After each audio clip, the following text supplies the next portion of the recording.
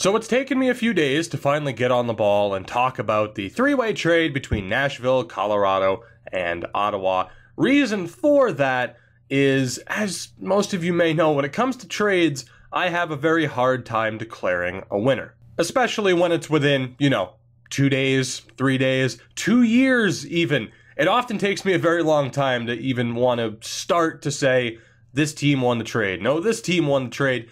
And the fact is, and I was trying to not talk with my hands, but I'm sorry, I have to live up to the Italian stereotype.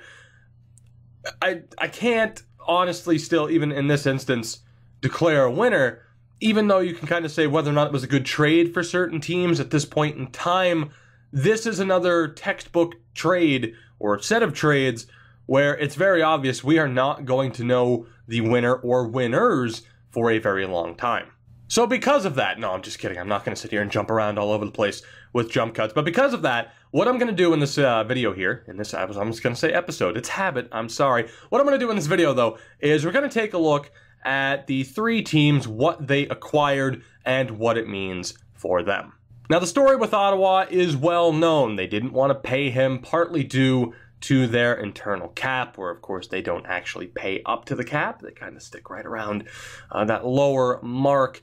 And it's a little bit understandable as to why they didn't want to pay him. Although hero charts aren't the end all be all, if you use a hero chart as a basis for how good a player might be, Turris has been used as a number one center in Ottawa, but the stats don't exactly measure up to him being a true number one center.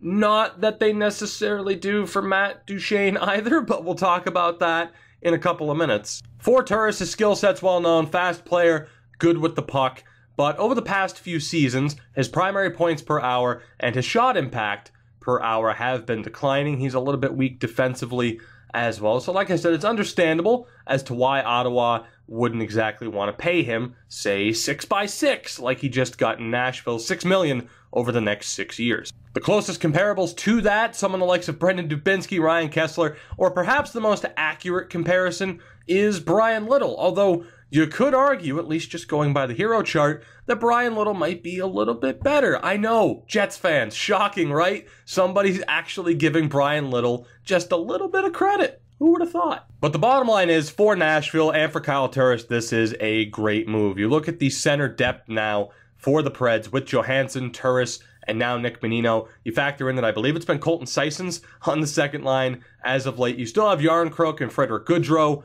who could play center. It's a good situation for the Preds who are still looking to be in win now mode. Not that the Sens aren't looking to be in that same spot which is, you know, why I think they were a little bit more willing to only get back Matt Duchene in this deal. Not to say again that, oh, it's only Matt Duchene as if he isn't good enough. I think you get the point. I'm going to stop rambling. And again, I'm not going to throw the term win around for Nashville, but a big reason as to why this is a good trade for the Predators is the fact that they didn't have to give up Mattias Ekholm, they gave up Samuel Girard instead. And while Girard does project to be a very solid NHL defenseman, as we'll talk about in a bit, keeping Ekholm keeps the Preds in win now mode. So, all around, very good deal for the Preds, as again, they look to stay in cup contention.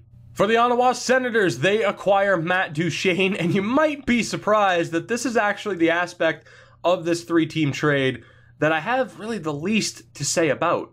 Aside from reiterating the fact that it absolutely sucks to see someone have to leave their favorite childhood club in this manner, I don't have that much to say. You can look at how similar of a player he is to Turris when it comes to speed and ability with the puck.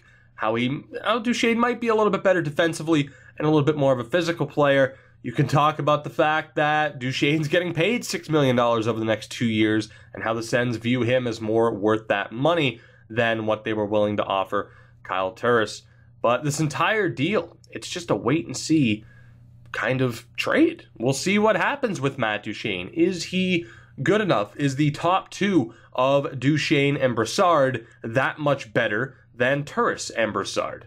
Now, obviously, if you're a regular on my channel and if you watch the franchise mode videos, you're not going to be surprised to know that the team I'm most excited for here is the Colorado Avalanche. While I'm certainly not going to declare this a king's ransom, Joe Sakic does deserve a little bit of credit for this return. Now, while you can argue that he should have been able to smooth things over with Matt Duchene and not have this be an issue in the first place, to get this much back for a player that every team in the league knew that you wanted to get rid of in the first place requires a little bit of skill and a little bit of, you know, actual talent in his role. Which, I mean, no one would ever take a shot at Joe Sakic for not being an amazing Hall of Fame caliber player on the ice, but he kind of replaced Garth Snow as the punching bag, as the joke of the league when it came to general managers. Say what you want about whether or not Joe Sakic should have taken a different deal. It's an interesting haul one way or another, and we're going to look at each piece individually. Starting off with Shane Bowers, who seems like a sure thing to make the NHL at some point down the line, the 20th overall pick from this past June. He's committed to Boston University, and I could sit here and, you know, try to explain his play, but let's just make this easy. A link is in the description to a scouting report done by the Hockey News over this past year. Bottom line is, he's a good pickup. And within that Colorado system, what could you label him at, you know, at this current point in time? Is he a top five prospect on that team? Is he a top three prospect on that team? At the very least, you can flat out consider him just another first round pick that's come over from the Ottawa Senators on top of what they just acquired. So, one way or another, it's a very good return, whether or not he does become a top six center or even a bottom six player, as some other scouts have projected him. Andrew Hammond might be the most interesting piece of this deal, and to me, this just screams Joe Sakic doing the Ottawa Senators a favor. I talked about the internal cap that the Sens have and needless to say, getting rid of Andrew Hammond's $1.35 million contract, even though it expires at the end of the year, that certainly helps out. And the bottom line is, with the signing of Mike Condon and Danny Taylor, who came over from the KHL, you have Marcus Hogberg still in that system. Mike Condon is the backup long term, if not the future starter, whenever Craig Anderson goes. There was no spot for Andrew Hammond at this point. And it is hard to believe that his magical run was already as long ago as it was the 2014-15 season. I don't know, maybe maybe it's just me, but it seems like that was a very very long time ago. And the bottom line is last year he was a disaster at both the NHL and the AHL levels. This year in 7 games with the Belleville Sens, he has looked better, but obviously with this deal he's a very inconsequential piece but it does get Colorado some organizational goalie depth, I suppose, for the rest of the year. Of course, with them, you know, having injury trouble already with Jonathan Bernier, it could be quite helpful. Now, the reason why I didn't definitively say that Shane Bowers is a top three or top five prospect within Colorado's system at this point is simply because of Samuel Girard. It depends on where you want to rank him first. Again, link is in the description to a scouting report. I could sit here and talk about, oh, he's a great skater, he's a great offensive D man, but I would just be reiterating what others have already said. So feel free to go check out that scouting report in the description. But the bottom line is the 2016 second round pick is another very solid pickup for the Avs, period.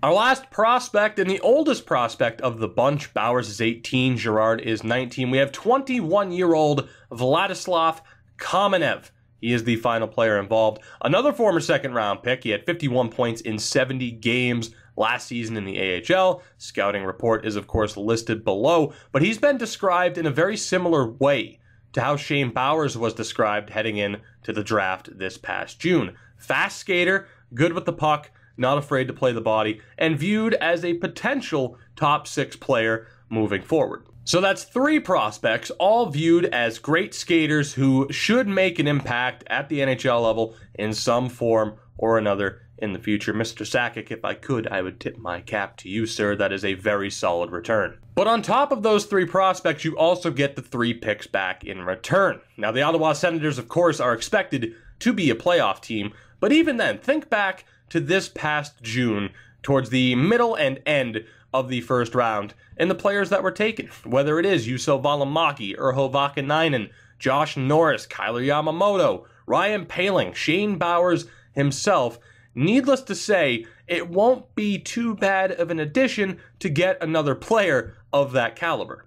And that's not even considering that people expect this draft to be the best of the past decade. And I'm sure as we get closer to the draft, some people are going to be trying to, you know, label it as the best draft since 2003. So this is a very good draft to have a ton of picks in. Look at what the Vegas Golden Knights are doing as an example as they continue to stock up. A little bit different of a situation, but again, a very solid return for Colorado. And this might be me praising Nashville's scouting system more than anything, but you get that second round pick from Nashville. Think of what the Preds have been able to do with second round picks, including Samuel Girard and Vladislav Kamenev themselves. So, guys, that will do it for this one. I hope you did enjoy. Of course, a little bit of a different style here lately going on the channel, but hey, we're trying new things around here, right? Let me know, though, down in the comments below, if you think that you can fairly say one team managed to win this trade. But for me, all three teams are looking pretty good